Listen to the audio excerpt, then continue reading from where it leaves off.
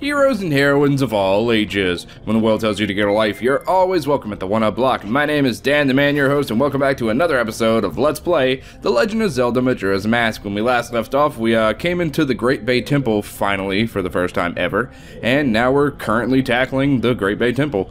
Um, I know I've said I, I hate this dungeon so many times before we actually came into the dungeon, but um, I want to clarify, just because this dungeon's hard and I hate it because it's it's really complicated in that sense. Uh, that does not necessarily mean that I hate the dungeon. It, I know that sounds stupid, but like it's a good dungeon. It's really complicated, and you have to actually think about it. But um, uh, I don't know. It's it's a good dungeon. It really is. So there. That that's all I have to say about that. I just don't like it because uh, past experiences have taught me that it's uh really complicated, and I was obviously an idiot the first time I played this and couldn't do it without help. But after I uh, played the, uh, did the practice run and I actually succeeded in figuring out most of the stuff myself, it wasn't that bad, in all honesty. I just, I just, whenever you think of something, you have a bad memory, right? So, like, whenever you have a bad experience as a kid, you're just always going to remember it as a bad experience. Um, and when you're a kid, you're just kind of not prepared for stuff like this dungeon, and it's just overly complicated. And it's not the game designer's fault, it's really good. I love the way this dungeon is set up. Everything's all nice and thought out, but like when you're a kid, you just, you don't like that stuff, you know what I'm saying? So, that's my two cents on that. If you break this pot here and not hit the thing like I did, you'll get yourself a fairy. Make sure you don't miss that one. That one's easy to miss. Uh, there's no more fairies in this room, so that's good. If we turn into Zora Link, we'll be able to take these guys down a notch. These are these are bio bio babas. they're Deku babas who live underwater, obviously. Um, once you hit them, they're gonna sink to the bottom. You can also sink to the bottom and kill everything by electrocuting them. I don't know if you can actually. Yeah, you can. You can just punch them too. It's always an option. He's dead too. Okay, so now we're just gonna get this chest. And looky looky, we got a key. So break this. Break that. It's nothing but recharging our ammo. Which is nice, accepted. Oh my word, it's a Bombchu. Ow. No, get back up. Taking damage from a Bombchu is not really that important. Just took one heart, it's not that bad. There's also a treasure chest over here, which is very easily accept uh, accepted accept I can't I can't speak. it's accessible by hopping on those lily pads. I think if you hop on top of the lily pads when you have the Deku Baba on you on it or something, it'll hurt you maybe. Don't quote me on that, but as you can see there's another chest in here, but if we look, it's the boss key. So obviously we're not going to be going this way for a while because we literally just started the dungeon and we're you know, we're not almost done. I mean, we we're we're getting there, but we're not certainly almost done. All right, but once you come out of here, you're set back into this area. So you want to go and find the next door, which is, I believe, this one. There's only two doors you can ha you can go through at the moment, and it's these two. So follow the red the red one. Oh God! All right, he's gonna open his mouth, and I'm just gonna cut him. All right, come here, you. Actually, you know what? You don't need to worry about these guys. They don't have... No, take off the arm. The arm. The... Uh, aiming. You break these pots for ammo and hearts, if you'd so like. But... We're going to want to get out of here. And I'm not sure if there's a fairy in here. Oh, come on. Really? I'm going to get up here and check and see if there's a fairy in here. There probably is, to be honest. Tatl wants to say something. If you could somehow step on top of that Octorok, I bet you'd be able to climb up onto that pillar. But the Octorok is so squishy and it keeps squirming around. There's got to be something you can do. So that's a hint. What's it a hint towards? Well, it's hard to say at this point, right? Alright. Die. Die. Maybe he drops the fairy? No, he drops the magic. Okay, so... Uh, is there a fairy in here? Oh, no, there's not. Stupid me. Alright, so we don't have to worry about this area. That's good. There's a Bombchu here, but don't try to block it. Like, don't try to stop it from exploding on you by blocking it. It'll bounce you off of the, uh... it'll bounce you off the platform. Instead, if If you just let him hit you, he'll blow up and just do damage, and it's not that bad. But in here, you're going to want to stock up on your magic, which is why they gave you these choo-choos. I don't know if I ever told you that they're called choo-choos, but I guess we can uh, let Tatl tell you what they are. A yellow choo-choo. It's nothing, nothing to sweat about. It usually has something inside its stomach that's of use. These things are just for re refilling your ammo. That's all they ever are for. Like, even in Termina Field, they have, like, hearts and stuff in them just so you can restock yourself. But, um, yeah, obviously this is going to be a boss fight if they're packing us with all kinds of goodies. Um, well, well, holy crap. I get, I think, I think it's glitching. What? Hello? Where's the boss, man? I can't leave. Oh, come on. The game glitched. Alright, guys, I'll be right. No, I'm just kidding. Look up. And there he is, all creepy and stuff. Kapoof. Yeah, this boss is uh, what you would call annoying. He has all these little orb thingies, and they surround his body. But, you can make quick work of a good chunk of them if you just go next to them and start spin attacking. I guess you could also alternatively throw bombs at him. Let me attempt. I haven't actually ever thrown bombs at him like that, so let me let me see what I can do. Ha! Did it work? Did it work? Is that a doorbell? So I guess if you just chunk bombs at everywhere, maybe it'll start blowing them up. Yeah, but it's not it's not an effective way of doing things, so I'm just gonna do it the way I know how to do it. You're gonna go up close to him and just spin attack. What you're doing here is shaving off most of his balls, which sounds gross, don't take that the wrong way. You're shaving off his spheres, so he has nowhere to defend himself. Uh, if you notice, every so often he'll open and close his eyeball. That's his weak spot, and to, to hit it, you have to shoot it with an arrow, obviously. So, if he's blocked with the balls while he's opening his eye, it's going to be really difficult for Link to hit him. So, naturally, we're going to try and take away all his defenses. So, if you just spin attack and take out most of his orbs, it'll be easier for you to hit him in the eyeball. Now, once you get a good chunk of the balls off, you can just wait for his eyeball to be exposed, and there you go. You can shoot the balls, which is probably something you want to do, just so you can avoid the annoyances. Alright, but he's done being a douche now. This part of his attack is he's just going to run around the room. Damn. His testicles are being annoying. Get out of get out of here. Ugh. This is why this boss is annoying, really. Your first time through, you'll probably die.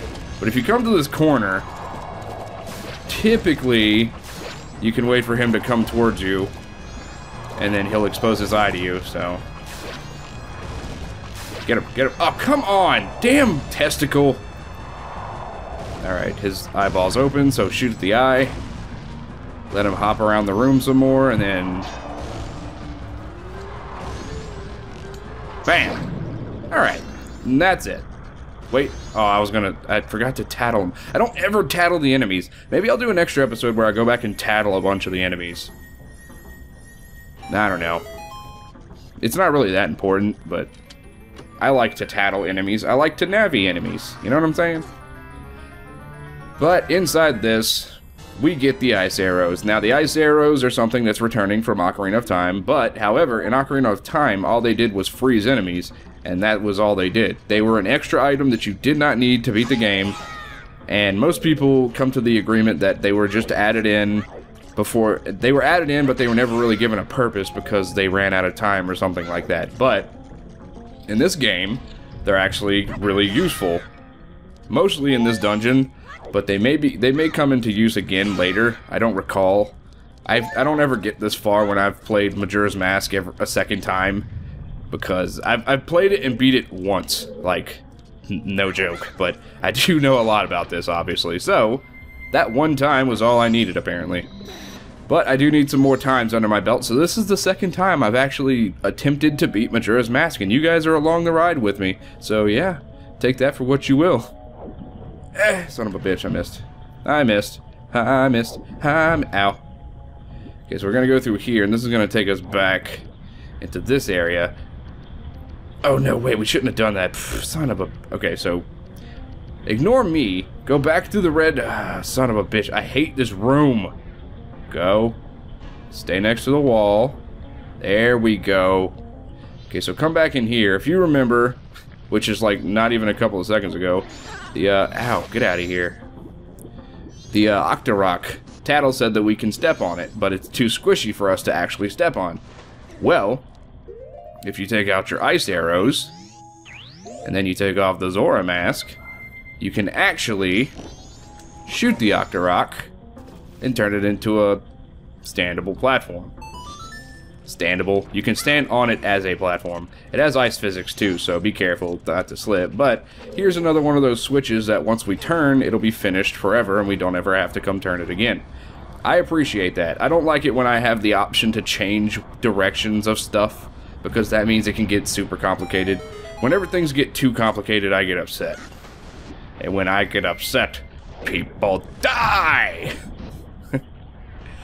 Alright, but Austin Powers jokes aside, let's make our way back to this little hole over here and then swim our way through. Yoink! And we're going to be back in this room, but we do want to try to go through this door again. Son of a bitch. Come on. And... Oh, what the... Ah, I hate this stupid room. It's, it's, it's rotating you way too fast, and I don't like it. Of course, that's just me complaining. It's probably just because I suck. Probably just because I suck. Like, I'm... That's... I'm just gonna put it out there. I'm complaining for no reason. Don't listen to me. That's just part of the Let's Play. You're, you're along for the ride to see me complain, right? Right, so... Jump here. And then this is what we can do with the ISOs as well. We can make platforms in water by freezing the surface. Which is kind of cool. I like that idea. They don't stay frozen forever, though, so make sure you do your best to hurry up and get through.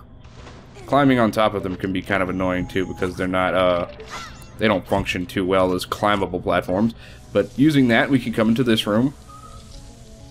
And then there will be this choo-choo, and you're like, oh, well, a choo-choo, that's cool. What's inside of him? Actually, there is nothing inside of him. He's just a, uh, let's read his, uh, tattle thing, shall we? A blue choo-choo. This doesn't, this doesn't have anything inside of it. It's just, ah, so it's really just a blob of water. So this thing is just a blob of water. What do we do with water? We freeze it. And that's that's a nice little puzzle there. It's kind of complicated if you're not thinking about it, you know what I mean? Like, it's not hard or, like, really super complicated in its uh, execution, but, like, if you're not thinking about it and you're a kid, you probably won't recognize that you should probably freeze it and turn it into a block of ice. I'm just saying. I know I was a dumb kid. I'm not saying you were, but, uh, if I played this when I was young, I probably would have never made it this far into the game, ever. Would have had a hell of a time trying, but I mean, I would have never made it. I'm just not that smart enough. Or I wasn't that smart enough.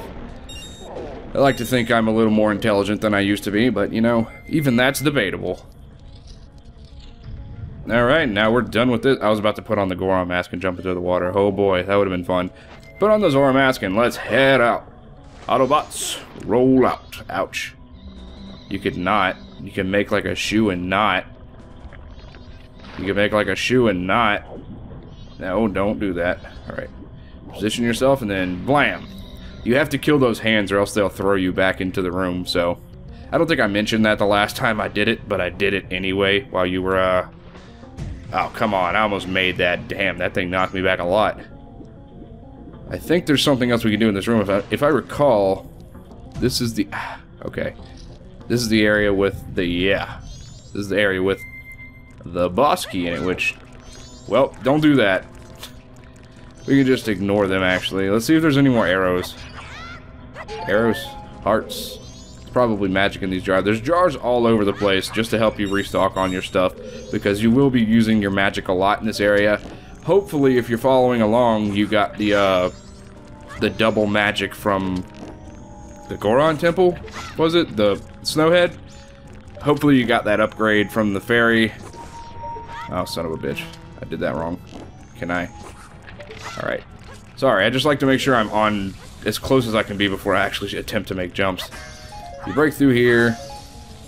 there'll be this frozen door, which means we actually have to annoyingly go back into our inventory, pull out the fire arrows, and uh, that animation on the arrows, like charging up as you pick the different one, like this animation right here, that's cool and all, but like seriously, it gets really aggravating really fast. But, here we have this guy. Haha! -ha. And he's not that bad. He calls down all these goo stuff, and then he grabs the goo and throws it at you. But once you hit him, he goes into that state. And what you're going to want to do is probably not do what I did. Okay, yeah. You're going to have to hit him as fast as possible, because if he comes over you with that... No, I'm not finishing that sentence because it would sound gross. Uh, once he puts the orb over you, he's going to drop down and uh, attempt to... He's probably going to do it right here. Yeah. Once he drops down, the goo expands, and if you get caught in it, he starts doing this uh, anime-style beat 'em up. Poof! It's really irritating.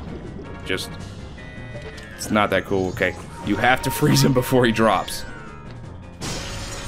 And once he drops, you just proceed to beat the crap out of him because he'll hop around and then he'll turn around. So what I'm gonna do here I'm gonna let him get over me, and then we're gonna run away. And you gotta wait for him to come back up.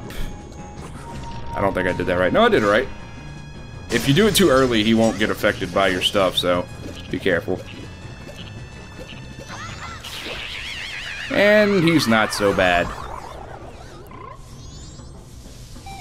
Alright, and while we're here, we're actually going to start the quest for the Don Gero.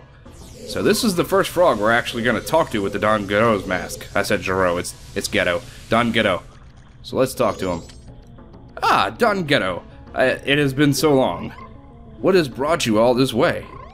Could it be you came all this way looking for me? Ah, you need not say a thing upon seeing that face. I understand. Is it true? But I heard that it was still winter in the mountains. When spring comes, I shall definitely go to the mountains, so let us meet again. Okay, so you do not have to unfreeze Snowhead to collect the frogs. That's good. I was kind of worried there for a second. Uh, this door is locked because they don't want you to go through that door. They want you to go through this one. Why? Well, if you recall, on the other side of this, there was the boss key. So yay for that. We are so close to actually just completing this dungeon. We're actually halfway through. We're not almost done with it, so don't get your hopes up. You got the boss key. Hooray. I'm going to take off the Don Ghetto's mask and put back on the Zora mask. But I think on that note, we're going to call it quits today because we're all out of time for this episode.